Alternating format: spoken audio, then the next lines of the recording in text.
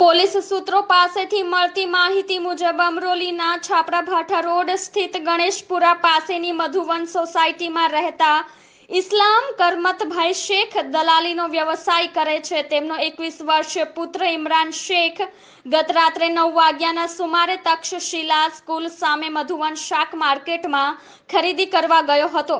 ત્યારે શાકભાજીની લારી ચલાવતા જ્ઞાન જયસ્વાલ સાથે લીંબુના ભાવ બામલે બોલાચાલી થઈ હતી. ત્યાર પછીના ઝઘડામાં જ્ઞાન જયસ્વાલે સાથી આનંદ જયસ્વાલ અને તેના ભાઈ સાથે મળીને ઇમરાન શેખ પર છરી વડે હુમલો કર્યો હતો.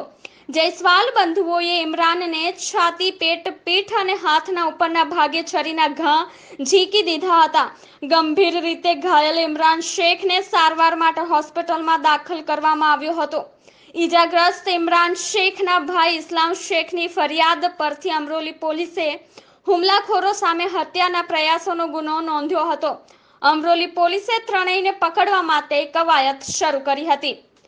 અમરોલીમાં લીંબુના ભાવ મુદ્દેના ઝઘડામાં યુવક પર છરીથી હુમલો થયો હતો અને લારીના સંચાલક જયસ્વાલ બંધુઓએ જમીન અને દલાલના ભાઈને ઉપરા છાપરી ચપ્પુના ઘા મારી દેતા ગંભીર રીતે ઘવાયો હતો.